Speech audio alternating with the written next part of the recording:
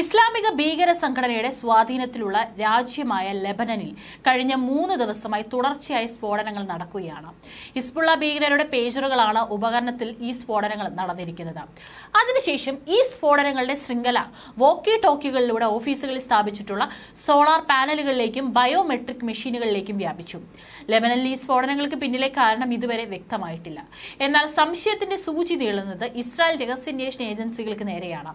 ലെബനനിൽ പൊട്ടിത്തെറിച്ച യന്ത്രങ്ങളിൽ ഇസ്രായേൽ രഹസ്യാന്വേഷണ ഏജൻസികൾ സ്ഫോടക വസ്തുക്കൾ നിറച്ചിരുന്നതായി പറയപ്പെടുന്നു.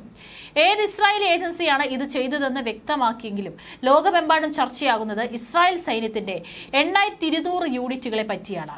യൂണിറ്റ് എണ്ണായിരത്തി ഇരുന്നൂറ് എന്നത് ഇസ്രായേൽ സൈന്യത്തിന്റെ ഭാഗമാണ്. ഇസ്രായേൽ സൈന്യത്തിന്റെ ഇന്റലിജൻസ് ഡയറക്ടറേറ്റിന്റെ കീഴിലാണ് ഇത് വരുന്നത്. ഇതിനു പുറമെ രണ്ട് യൂണിറ്റുകൾ കൂടി ഇതിന് കീഴിൽ പ്രവർത്തിക്കുന്നുണ്ട്. യൂണിറ്റ് എണ്ണായിരത്തി ഇരുന്നൂറിന്റെ പ്രധാന ശ്രദ്ധ സാങ്കേതിക വിദ്യയിലാണ്. ഇന്റലിജൻസ് വിവരങ്ങൾ ശേഖരിക്കുന്നതിനും അതിൽ നടപടിയെടുക്കുന്നതിനുള്ള സാങ്കേതിക കോണിലാണ് ഇത് പ്രവർത്തിക്കുന്നത്. ഇസ്രായേലിന്റെ ഈ യൂണിറ്റ് അതിന്റെ പ്രധാന രഹസ്യാന്വേഷണ ഏജൻസിയായ മൊസാദിൽ നിന്ന് വ്യത്യസ്തമാണ്. മൊസാദ് രാജ്യത്തിന്റെ പ്രധാന രഹസ്യാന്വേഷണ ഏജൻസിയാണ്. അതിന്റെ പ്രവർത്തനങ്ങൾ വിദേശത്തുമുണ്ട്. യൂണിറ്റ് എണ്ണായിരത്തി ഇരുന്നൂറ് സാങ്കേതിക വിദ്യയിൽ ഉപയോഗിക്കുന്ന ഉപകരണങ്ങൾ നിർമ്മിക്കുകയും ചെയ്യുന്നുണ്ട്. ഇതുകൂടാതെ സൈബർ യുദ്ധം ടെലി കമ്മ്യൂണിക്കേഷൻ തുടങ്ങിയ സാങ്കേതിക വിദ്യകളിലും ഇവർക്ക് പ്രാവീണ്യമുണ്ട്. ഇപ്പോഴും മറഞ്ഞു നിന്ന് പ്രവർത്തിക്കുന്ന ഈ ഏജൻസിക്ക് ലളിതമായ ഫോൺ സംഭാഷണങ്ങൾ മുതൽ സങ്കീർണമായ കമ്പ്യൂട്ടർ സാങ്കേതിക വിദ്യകൾ വരെ ഹാക്ക് ചെയ്യാൻ കഴിവുള്ളതായി കണക്കാക്കപ്പെടുന്നു. ലബനൻ ആക്രമണത്തിന്റെ കാര്യത്തിൽ യൂണിറ്റ് എണ്ണായിരത്തി ഇരുന്നൂറിന്റെ പേര് ഉയർന്നു വന്നതായും ഈ സാങ്കേതിക ശേഷി ഉള്ളതുകൊണ്ടാണ്. ലബനനിലെ സ്ഫോടനങ്ങളുടെ ആസൂത്രണത്തിൽ ആദ്യ ദിവസം മുതൽ ഈ രഹസ്യാന്വേഷണ ഏജൻസിക്ക് പങ്കുണ്ടെന്നും പറയപ്പെടുന്നു. പേജറുകളിലും മറ്റു മെഷീനുകളിലും സ്ഫോടക വസ്തുക്കൾ സ്ഥാപിച്ചത് ഇവരാണെന്ന് പറയപ്പെടുന്നു. വളരെയധികം ചർച്ച ചെയ്യപ്പെട്ട ഇസ്രായേലി യൂണിറ്റ് എണ്ണായിരത്തി ഇരുന്നൂറ് ടെക് വിദഗ്ധരെയാണ് റിക്രൂട്ട് ചെയ്യുന്നത്. ഇസ്രായേലി വൻകിട ഐ ടി കമ്പനികളിൽ ഉന്നത സ്ഥാനങ്ങൾ വഹിച്ചവർക്കാണ് ടീമിൽ സ്ഥാനം. പുതിയ സാങ്കേതിക വിദ്യകൾ കണ്ടെത്തുകയും ശത്രുവിന്റെ സാങ്കേതിക വിദ്യകളെ മറികടക്കാനുള്ള ഉപകരണങ്ങൾ കണ്ടെത്തുകയും ചെയ്യുക എന്നതാണ് അവരുടെ ജോലി. ഈ യൂണിറ്റ് ഒരു സ്റ്റാർട്ടപ്പ് പോലെയാണ് പ്രവർത്തിക്കുന്നതെന്നും അതിന്റെ പഴയ അംഗങ്ങളിൽ പലരും പറയുന്നു.